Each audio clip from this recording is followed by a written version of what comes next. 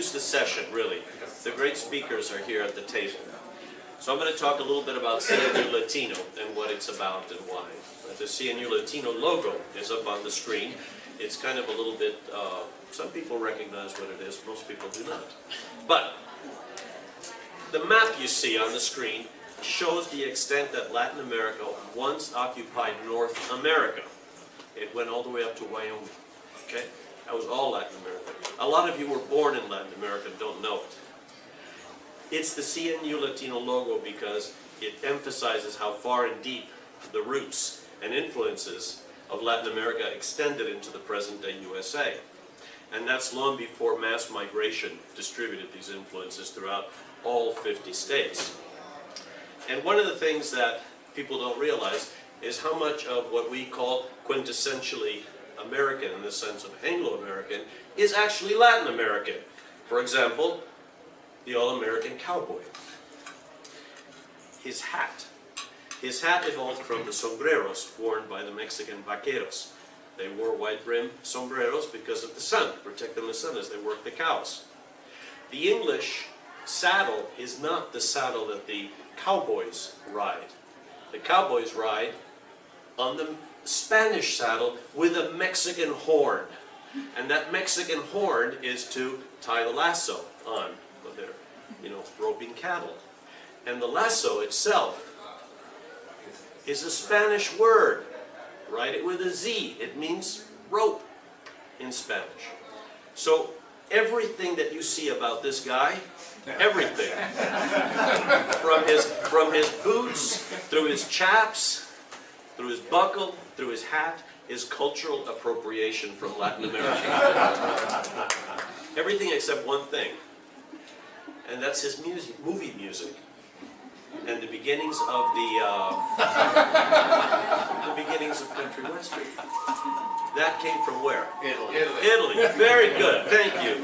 The music of Ennio Morricone, right? The Italian spaghetti western is where all the country western music got its start.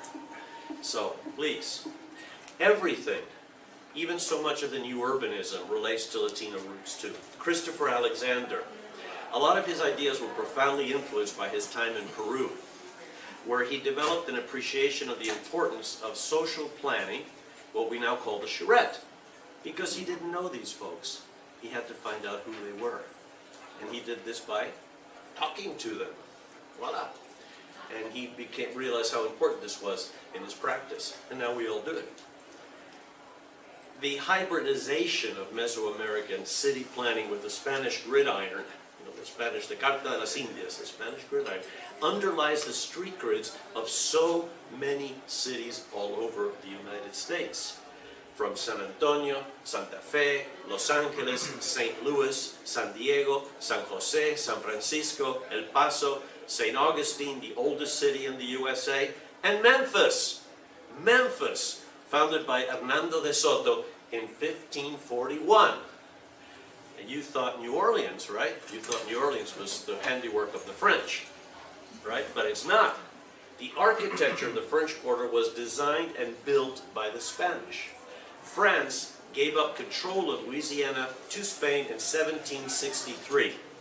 Over the next 40 years, the Spanish built the city. Everything, the tiled roofs, the uh, tropical colors, uh, the ironwork, it's all of Iberian origin and inspiration. So is the Cabildo, the big famous building in the center of it, and so is the running of the bulls. Where do you think that comes from? And do you know what the biggest holiday is in Latin America? It is not um, Christmas, it's not uh, Easter, it's Carnaval. Carnaval is Mardi Gras. We celebrate the devil. We take him out of the ground for one week, and that's the most fun time. People from Buenos Aires that live in the province, that come from the provinces to Buenos Aires, where I grew, it was a real problem because all the maids and everything disappeared. They went back home for the week. So, we can attribute the best of U.S. urbanism to this mestizaje, or this hybridization of the Mesoamerican and Spanish cultures, along with beloved elements like our public squares, courtyards, our city grids. That's where they come from, all of them. So precisely because of the hybrid nature of Latinos. Black, brown, blonde, and the diversity of the native cultures that feed our identity, because we identify with them. We spent the first three meetings of CNU Latino arguing about what to call our group. What do we call our organization? We couldn't agree. Well, we had to decide what box to put ourselves in. Latino, Hispanic, or Latinx. Right? There were some strong opinions. There were some minor arguments. In the end, everyone, including the ladies, liked Latino best. Okay? But then the big question came up. What the heck is a Latino? What's a Latino? well, this is very difficult for us because none of us identifies with being Latino, Hispanic, or Latinx. When you hop in an Uber, the driver looks Hispanic and you ask that terrifying question, what are you? He doesn't ever say, oh, I'm Latino. No. He says, Mexican, soy de Mexico, I'm Colombian, soy colombiano, I am uh, uh, Nuyorican, I'm Chicano, I'm Mexicano, I'm all kinds of things but Latino. I'm an Argentino, that's where I was born, that's how I identify. So we see ourselves embodying a lot of different cultures, and we like the differences. Andres will speak to that shortly. Ultimately, we realize that Latinos were not a conventional ethnicity or distinct race, but an alliance of immigrant cultures. We don't get along as well in South America as we do in North America. James will discuss how this mestizaje of Latinos has influenced um, the cities that we live in today and how it continues to influence the cities that we live in today. So why is CNU Latino versus a CNU AIA or a CNU, or, or I mean a Latino AIA or planning or whatever? To an extent, we're trying to figure that out ourselves. And that's why we meet, to try what are we going to do? Um, inspired by the CNU Congressional Black Caucus and the good work of, of um, Brzezinski Boyce, uh, we decided to forge an alliance, essentially, of immigrant cultures within the new urbanism and kind of claim a unified voice in the dialogue on how our communities um, should be planned, how they should evolve, how they should work. Latinos are the majority already in California and in Texas. The majority, not the biggest minority, the majority of the people. We stand to be 30% of the population of the United States very soon. So it seemed like an excellent time to step up and have a voice in CNU as to the planning of our future communities.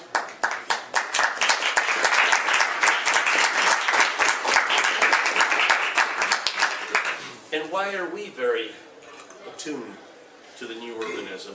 We're naturally predisposed to urbanism. 82% of us live in urban areas. We like pavement. We don't mind crowds. For us, Density is delightful. No issues. We're hardworking people with migrant souls eager to build a strong future here in the USA. But we're not only hardworking hands that will do the work that nobody else will do. We have minds. and many of us are well-educated professional planners, developers, and architects. Melanie will speak about this aspect of immigration in a moment too. You won't see her story on CNN. She didn't wait across the Rio Grande. She is a professional immigrant. And this is part of our story too. CNU Latino represents an alliance of planners, designers, and developers who've gotten together within this organization with very high-level skills and Latin flair, right? That's important. We're going to design resilient, creative, self-reliant communities because we are no strangers to economic hardship or climate calamity. We can deal with it. We can deal with it and you can learn from us too, just as we learn from you. And Brandon will speak about this, his experience as an Anglo-American developer in Mexico and the influence it's had on him. So in the end, finally, CNU Latino is a resource for the new urbanism uh, that will shape inclusive, not elite, communities, sustainable because they're socially balanced, rich and poor, intellectual and illiterate, where a Usonian mestizaje can occur. We're all about reconciling differences, not segregating or eliminating them. And this has always been an urbanist ideal. Mixed use and mixed income. We hope to add mixed cultures, north and south. With that, I turn it over.